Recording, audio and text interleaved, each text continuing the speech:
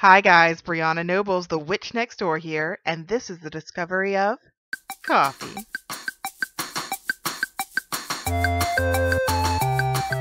So as I said in a previous video, I really wanted to go into how some of our favorite foods were discovered.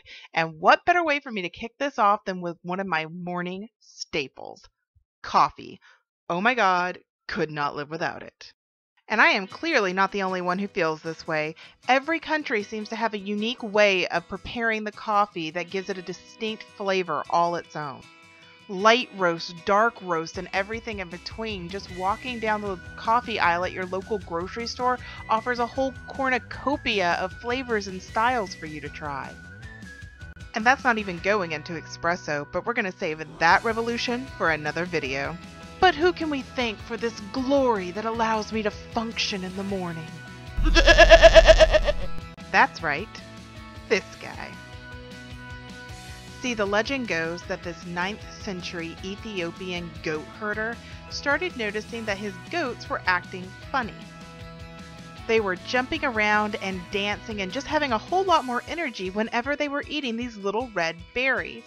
So he decides to try them too because, you know, you should always eat something that makes your goats act crazy. But he discovers the berries have the exact same effect on him. He's so excited that he grabs a handful and rushes off to the nearby monastery to show a monk.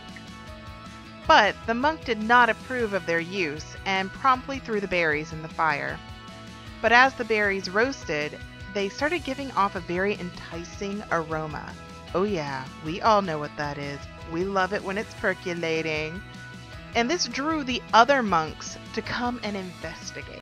The roasted beans were quickly raked from the embers, ground up, and dissolved in hot water. Because that makes perfect sense, right?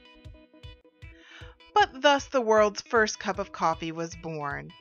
Boy, I bet they were disappointed when it didn't taste as good as it smelled, huh? While some of the logic might not be sound, I for one am very grateful to Kaldi and his herd of dancing goats.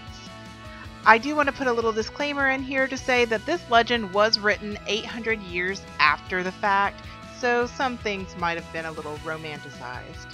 Either way, it's a great story, and there are coffee shops all over the world named after Kaldi and his goats.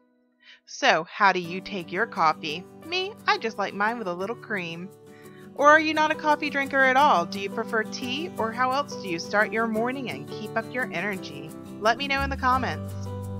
Well, I hope you enjoyed our little journey into the history of food and the legend behind how coffee was discovered. Please give this video a like if you found it entertaining and informative at all. If you want more videos like this or have always wondered how certain foods came around, just let me know in the comment section and I'll work on getting a video up for you.